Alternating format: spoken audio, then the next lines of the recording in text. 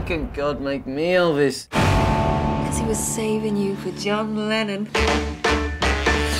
Glasses. Glasses. Glasses, John! I'm suspending you both. Questions? Any chance I can get the magazine back, sir? Don't lie to me, John Lennon. Without me, you would be in a children's home. Just remember that. I found out where your mom lives. She'll hurt you, you know that, don't you?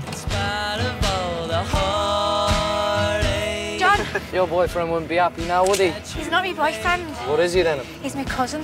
Where are you going? For a quick chat. At the moment, you're going nowhere. There's nowhere for the geniuses, sir.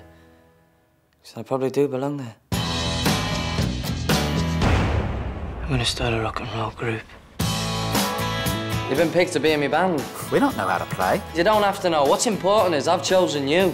I'm John. Paul. John, your little friend's here.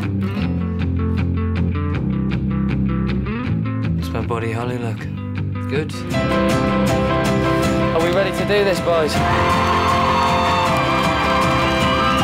If we're gonna do this, we should write our own stuff. I write stuff. Not songs, more poetry, you know. Add a tune to that and you got a song.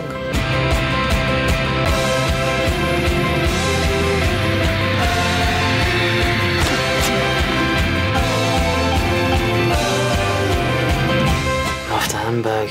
And is this with the new group? The, oh, what are they called again? Do you care? Oh,